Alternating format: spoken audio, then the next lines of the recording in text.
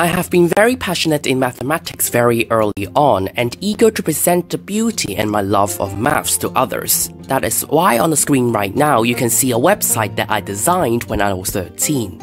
It is definitely not well maintained and I have lost the files, so I cannot update the site anymore. You are more than welcome to click the link in the description to see my work. I learned about Catalan numbers in a combinatorics course outside school when I was 13, and I didn't think too much of it. However, one year later, I came across this kind of square maze where you need to go from the bottom left to the top right. Suddenly, I thought of a question given a particular size, how many mazes could there be? This is an utterly vague question because, first of all, what does a maze even mean? And what did I mean when I said a given size? So I narrowed down the question into thinking only about the solution path. Then this path lies on a particular grid, and so we can talk about the size of the grid. But of course, there are problems with this simplification which I completely ignored at the time. For one thing, one maze could have different solution paths, and the other point is that different mazes could have the same solution path.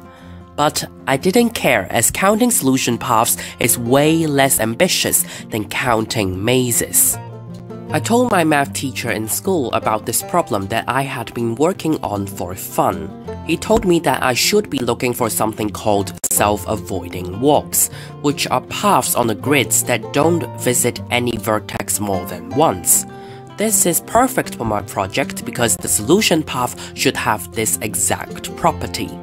If the so-called solution path has a vertex that is visited twice, we can cancel this portion and obtain a shorter solution path. And in a maze, nobody would say this is a solution path, right? And something like this is totally legitimate because it is possible that there are walls to block you from going with the shortest route. When I went back home and scrolled down the MathWorld page, I found that there are formulas known only for small grids. And this for some reason excites me. I could have made an original discovery. Of course, I was being arrogant here because even proper mathematicians couldn't work out those formula. Why should I have any reason to believe so much in myself? To emphasize the difficulty of the problem at stake, think about the number of self-avoiding walks on this simple grid, from the bottom left to the top right. Pause the video and work out the answer. Are you ready? The answer is 12. These 12. You probably got this right. But what if I just increase the side length of the grid by 1? Pause the video again to work out the answer. The answer is 184. That escalated quickly.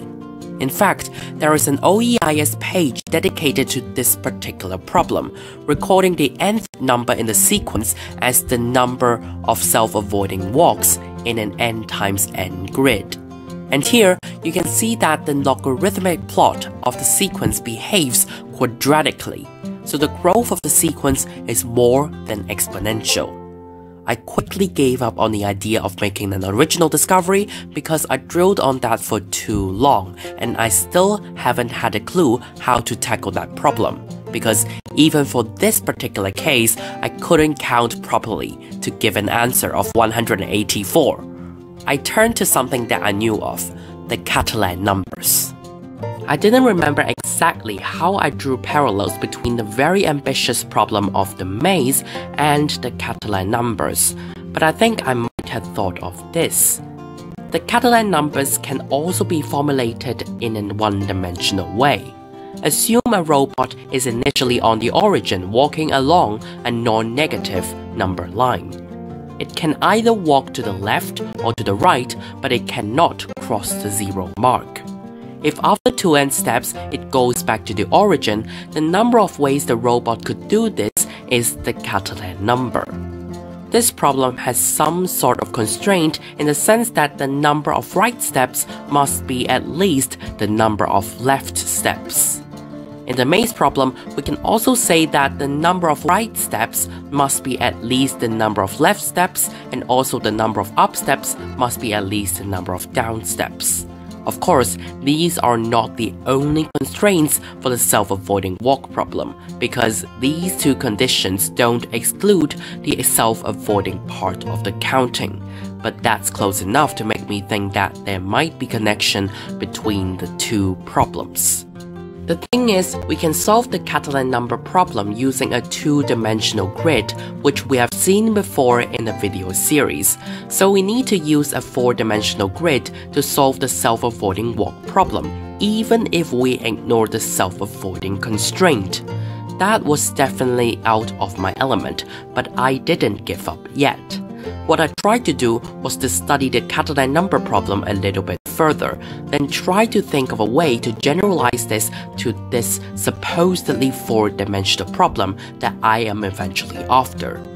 So just to be clear about the timeline of the narrative, first of all I thought about the maze problem. How many mazes are there given some size? Then I simplified it to counting the number of solution paths, which happen to be self-avoiding walks, which many mathematicians studied. But then, this is still too ambitious a task, so I went back to studying the Catalan numbers further instead. So I generalized the Catalan numbers like what you saw in the previous video. That generalization part was done when I was 14, these were done all by myself and I felt very proud of it and called it a day. One year later, there was something called a mathematical modeling mini thesis competition, and my math teacher encouraged me to join. I totally ignored the mathematical modeling bit because I thought I had been thinking about this whole thing for a long time. This was about time I finished it. So I actually did even more generalizations that I have described towards the end of my last video, as well as two more cases. Again, these were all done by myself, but then two unfortunate things happened. Firstly, I suddenly realized the phrase mathematical modeling, and I needed to come up with a real life situation for all of these to fit. That's why I thought of this bank deposit or loan scenario. Now, this cannot be called mathematical modeling because nobody in the real world will count how many ways there are to solve a problem. But this is still better than having no quote unquote real life situation in it. The second unfortunate thing is that towards the end of my project, I figured something called Catalan triangles and trapezoids, which were exactly what my generalizations had been about so I couldn't exactly call those my original discovery. The best that I can say is I discovered them independently. So at the last minute, I decided to just cite those sources about the Catalan triangles and trapezoid. I didn't get a medal or anything because that was not even remotely a modeling problem. I literally just forced a made up scenario into my pure math problem.